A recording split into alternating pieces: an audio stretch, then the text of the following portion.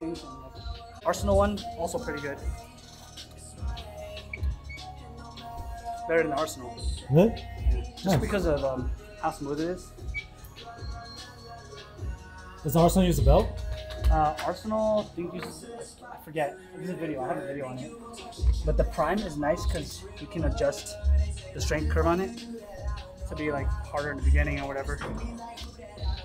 This is just like a. Is there a cam on here? Uh, let me see.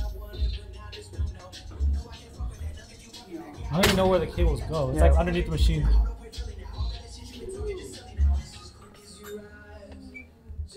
Yeah, there's a cam. Open up. yeah, there's a cam down there. Jesus, Andy.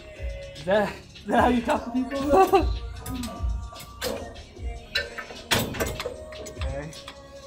Can you do the reverse too? Yeah. Oh, nice. Adductor, abductor. Oh, Jesus. Open up. No, I gotta close that, bro. oh shit. I gotta do the splits to do this.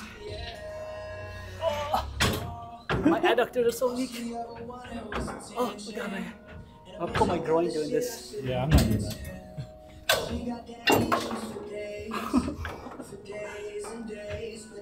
You trying to do that Hell 150 no. floor? That's, Jesus. that's crazy, bro.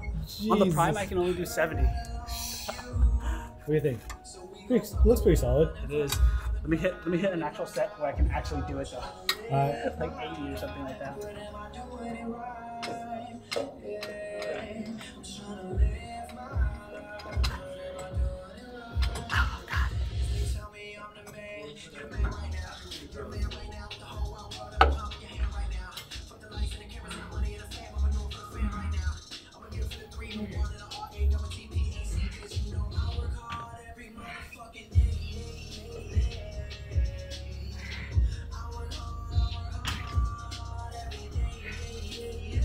Show the weight. just kidding, just kidding, just kidding.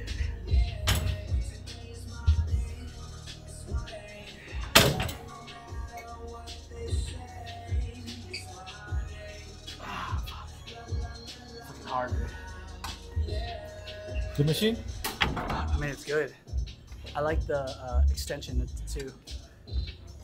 Better than the hamstring curl.